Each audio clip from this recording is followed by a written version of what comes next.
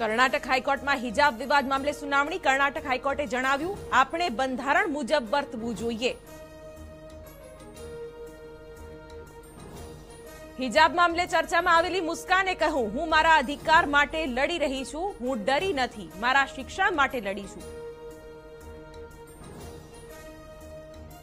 હિજાબ વિવાદમાં પ્રિયંકા ગાંધીનું ટ્વીટ કહ્યું પહેરવેશ મુદ્દે મહિલાઓને પરેશાન કરવાનું બંધ કરો, કયા કપડાં પહેરવા, એ તેમનો અધિકાર. તો હિજાબ વિવાદ પર પાકિસ્તાની પ્રધાને કરી કોમેન્ટ મોદી સરકાર પર સાધ્યું નિશાન. ટ્વીટ કરતા લખ્યું, હિજાબ પહેરવું એ વ્યક્તિગત પસંદનો વિષય. યુપી વિધાનસભાની ચૂંટણીમાં કોંગ્રેસનો મેનિફેસ્ટો જાહેર. કોંગ્રેસની સરકાર બનતા ખેડૂતોનું દેવું દસ દિવસમાં માફ થશે તો વીસ લાખ રોજગારીનો વાયદો.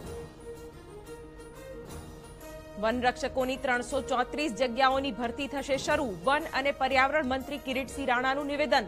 ચાર વર્ષથી મોકૂફ હતી ભરતી.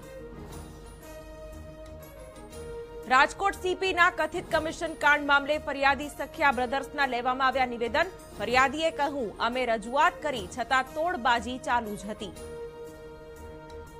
અમદાવાદ સિરિયલ બ્લાસ્ટ મામલે અગિયાર તારીખે થશે સુનાવણી. કોર્ટે કહ્યું, બચાવ પક્ષના વકીલ દોષિતોનો પક્ષ જાણીને કરે રજૂઆત.